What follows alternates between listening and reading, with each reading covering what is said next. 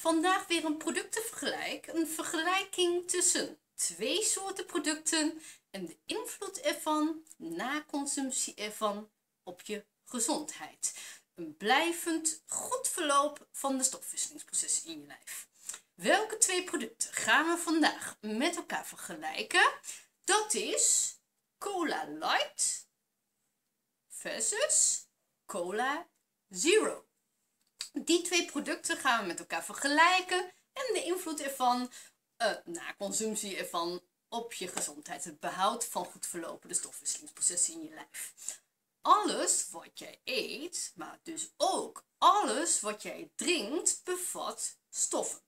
Stoffen die na consumptie in jouw lijf belanden en welke een reactie vereisen van je lijf, namelijk de verwerking van die stoffen.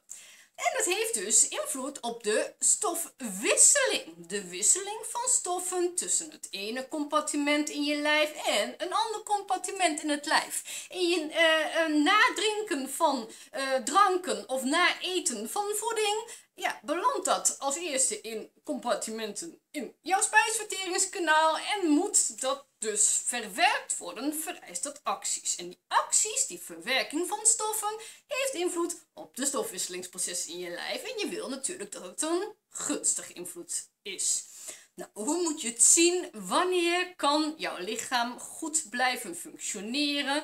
Wanneer kunnen de stofwisselingsprocessen in je lijf goed um, um, blijven verlopen. Dat is pas wanneer jouw lichaam in een goede voedingstoestand verkeert. Dat wil zeggen, goed voorzien is, goed aangevuld is in het vocht en de essentiële voedingsstoffen waarvan het eerder uitgeput is geraakt. Want pas dan is jouw lichaam in staat om met behulp van hormonen jouw bloedwaardes jouw bloedsuikerspiegel, jouw bloeddruk, het vochtgehalte in de bloedbaan, de zuurtegraad en de hoeveelheid opgeloste stoffen te reguleren, heerst er homeostase evenwicht in jouw lijf. En dan pas, wanneer dat evenwicht heerst, is jouw lichaam in staat om onder invloed van hormonen, vocht en voedingsstoffen mooi te verdelen over jouw lijf. De processen, stofwisselingsprocessen in je lijf, um, aan te sturen, te stimuleren, maar ook op elkaar af te stemmen. En dan dus is een blijvend goed verloop van de stofwisselingsprocessen in jouw lijf aan de orde. Dat is dus afhankelijk van homeostase, dat evenwicht van stoffen in jouw bloedbaan, die stofsamenstelling in jouw bloedbaan. En dat is dus afhankelijk van jou, hetgeen je drinkt, hetgeen je eet, de stoffen daarin aanwezig en hoe goed dat jouw lichaam aanvult in vocht en essentiële voedingsstoffen. Zowel Cola Light als Cola Zero betreffen dranken, frisdranken, waar nul calorieleverende voedingsstof in zitten. Dus wij leren, ja, als wij graag willen afvallen, ja, dan moeten we niet dranken gaan drinken met calorieleverende voedingsstoffen erin. Um, vooral geen dranken met um, um, suikers daarin, suikers welke je bloedsuikerspiegel verhogen. En ja, wanneer die suikers verder geen gunstige voedzame stoffen bezitten, welke vervolgens zorgen voor het niet verbranden van vet in je lijf en mogelijk vetvorming in je lijf wanneer je die lading suikers die je dan met je drank binnenkrijgt, wanneer die niet verwerkt, verbruikt kunnen worden in je lijf. Dus suikerhoudende dranken, dus de reguliere cola, nee, dat doen we niet. Dat is ongezond, dat is nadelig wanneer je wil afvallen. En dan kiezen we dus voor caloriearme, suikerarme, suikerloze dranken. En daar valt Cola Light en vallen Cola Zero allebei onder. Wat bevatten Cola Light en Cola Zero allebei? Bruisend water, dat wil zeggen water, vocht met een aantal essentiële mineralen erin. Dat betreft de enige essentiële stoffen in beide cola soorten. Bruisend wil zeggen, er zit koolzuur in. Dat is een afvalstof. Of in ieder geval een stof welke je lijf ook um, vormt na de energieproductie in jouw cellen en als afvalstof ach, uh, achterblijft en zo snel mogelijk je lijf uit moet. En dat vereist dus een actie om die afvalstof zo snel mogelijk je lijf uit te krijgen. Beide zitten ook cafeïne, een stimulerende stof, welke jouw lijf aanzet tot de afgifte van neurotransmitters, welke jouw lijf activeren betekent niet dat jouw lichaam goed in staat is die neurotransmitters af te geven. Um, maar toch, dat stimuleer je wel met die stoffen erin. Beide bezitten ook zoetstoffen. Dat zijn stoffen um, uh, die um, in onverteerde toestand in jouw uh, darmen belanden, die wel een zoete smaak geven, maar die niet, zoals suiker, in jouw darmwand opgenomen worden en in jouw lijf belanden en je bloedsuikerspiegel verhogen. dat betreft overigens dezelfde zoetstoffen. Zowel Cola Light als Cola Zero bezitten dezelfde uh, zoetstoffen. Beide bezitten ze ook voedingszuren. Daar zit wel enig verschil in. Um, um, um, Cola Light uh, bezit andere voedingszuren dan Cola Zero. Dus daar zit het enige verschil in. Maakt het dan uit welke je drinkt? Met betrekking tot het verloop van de stofwisselingsprocessen in je lijf. Nou, Beide zijn in het bezit van stoffen. Nauwelijks essentiële stoffen, hooguit die mineralen en dat vocht, en heel veel niet-essentiële stoffen. Stoffen welke er zit geen suiker in die jouw uh, bloedwaardes verstoort. Dus dat evenwicht in jouw lijf verstoort. Dus dan denken we, nou dan kunnen we beide prima drinken. Maar dat evenwicht is niet alleen afhankelijk van je bloedsuikerspiegel maar is ook afhankelijk van de osmolariteit in je bloedbaan, de zuurtegraad in je bloedbaan. Maar overal in je lijf moet homeostase heersen.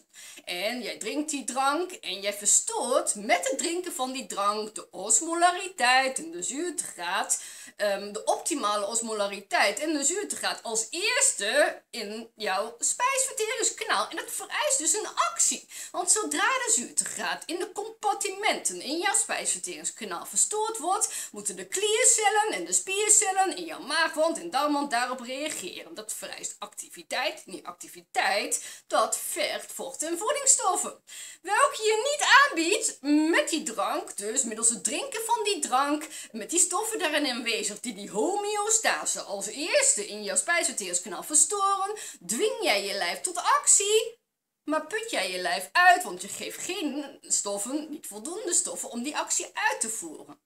Dat betekent dat door die uitputting jouw lijf ook de waardes in jouw bloedbaan verstoord raken. Jouw lijf gaat dan onder invloed van stresshormonen zoveel mogelijk vocht en voedingsstoffen in jouw bloedbaan bewaren. Want enkel wanneer jouw lichaam in een goede voedingstoestand verkeert, en dat is dus niet naar uitputting, enkel wanneer je lichaam goed aangevuld is met het uitgeputte vocht en de uitgeputte essentiële voedingsstoffen, waar Cola Light en Cola Zero beide niet aan bijdragen, sterker nog, ze putten je lijf juist meer uit dan pas gaat jouw lichaam bezig zijn onder invloed van hormonen met een mooie vocht- en voedingsstofverdeling in je lijf, de aansturing van processen in je lijf en zullen de processen in je lijf blijvend goed kunnen verlopen. Put jij je lichaam extra uit met een drank zoals Cola Light, maar Cola Zero net zo goed, beperk jij dus na consumptie ervan een mooie vocht- en voedingsstoffenverdeling over je lijf, de afvoer van afvalstoffen in je lijf en het verbruik in jouw lijf. Drink jij een calorie- en suikerloze drank, zoals Cola Light en Cola Zero beide betreffen vanuit de gedachte, dan lever ik met mijn drank geen calorieën, dus dan kan ik goed afvallen, nou, afvallen is ook afhankelijk van het verbruik in je lijf. Nou, en daar draag je niet gunstig aan bij dat het verbruik in jouw lijf blijvend goed zal verlopen wanneer jij homeostase, het evenwicht in jouw lijf, verstoort middels het drinken van die drank waar een lading activerende, uitputtende, niet-essentiële stoffen in zitten die verwerkt moeten worden door jouw lijf, maar enkel verwerkt kunnen worden wanneer je uh, je voeding goed voorziet, of hetgeen je drinkt goed voorziet in vocht en essentiële stoffen, zit niet in die cola. Dus jij put je lichaam uit met een verslechterde ehm, vocht- en voedingsstoffenverdeling en aansturing van processen in je lijf als gevolg van de consumptie hiervan. Dus drink jij een drank zonder calorieën, zonder ehm, suikers, zonder koolhydraten. Ehm, ehm, denk dan niet dat het gewichtsverlies daardoor beter kan gaan verlopen. Want jouw gewichtsverlies is afhankelijk van, van onder andere ook een hoog verbruik in je lijf. En een optimaal uh, uh, verloop van stofwisselingsprocessen in je lijf. Maar dat beperk je dus middels het drinken van een drank met koolzuur, met cafeïne, met voedingszuren daarin aanwezig. Wat maakt dat jij het evenwicht in jouw lijf verstoort na consumptie ervan. En jij je lijf uitput. Wanneer is de activiteit in jou niet zo hoog meer als daarvoor wanneer jij uitgeput raakt. Wanneer is de uh, activiteit in jouw lijf niet zo hoog meer als daarvoor wanneer jij middels het drinken van een, een, een light drank, een zero drank, jouw lijf uitput. Dus wil jij goed af kunnen vallen, dan wil jij een hoog verbruik in Dan moet jij middels hetgeen je drinkt en hetgeen je eet je lijf goed aanvullen in vocht en essentiële stoffen. Maar dus toch niet uitputten middels het drinken van dranken waar wellicht geen calorieën in zitten, maar wel veel stoffen die jouw lijf moet verwerken. Wat jouw lijf doet uitputten.